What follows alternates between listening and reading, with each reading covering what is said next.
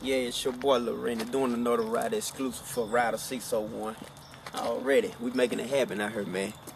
Finna spit this, man. You already know how it is.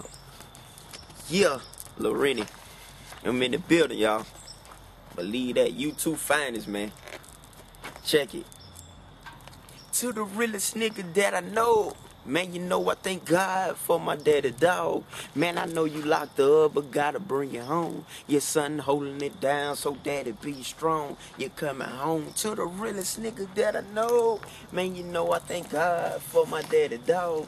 Man, I know you locked up, but gotta bring you home. Your son holding it down, so daddy be strong. You coming home. It's been hard on me, daddy. I know you been gone for a while, but your baby boy done got older, and i been holding it down. I really miss you, but man, look, I've been going through some things, and if this rap thing go far, our whole life gonna change. I'm making money now, and I'm stacking up until you get home. And when you get out this time, I swear it's gonna be on.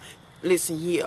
I learned I can't dwell on the past, just waiting on you to get home cause I'm missing your ass. Listen here, I learned I can't dwell on the past, I'm just waiting on you to get home cause I'm missing your ass. To the realest nigga that I know, man, you know I thank God for my daddy dog. Man, I know you locked up, but gotta bring you home. Your son holding it down, so daddy be strong. You coming home. Oh man, that was just a sample for you, man. That's that song for my daddy. Love always, daddy. Already, man. I ain't spit the whole verse, but I just gave you a little, little vibe to what it would be like. Huh? 16 boys will be on it. Believe that. I love you, daddy.